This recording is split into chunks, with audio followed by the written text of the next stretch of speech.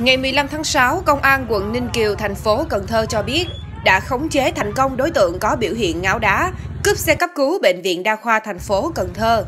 Vào trưa cùng ngày, thanh niên này mang theo dao vào Bệnh viện Đa khoa thành phố Cần Thơ rồi đe dọa những người xung quanh. Sau đó, đối tượng trèo lên xe cấp cứu có sẵn chìa khóa đang đậu trong khuôn viên bệnh viện. Lực lượng công an nhanh chóng có mặt tại hiện trường, thuyết phục đối tượng rời khỏi xe cấp cứu. Thế nhưng, Đối tượng không chấp hành mà bất ngờ lái xe cấp cứu ra khỏi bệnh viện, phóng bạc mạng qua nhiều tuyến đường. Lực lượng công an đã phải dùng đến xe đặc chủng đi trước để cảnh báo người dân nhằm tránh va chạm.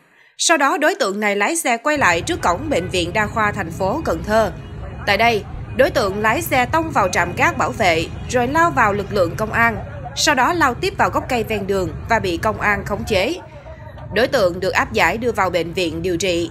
Tại đây, người này có biểu hiện ngáo đá, khai báo lung tung và trên người cũng không mang theo bất kỳ giấy tờ tùy thân nào.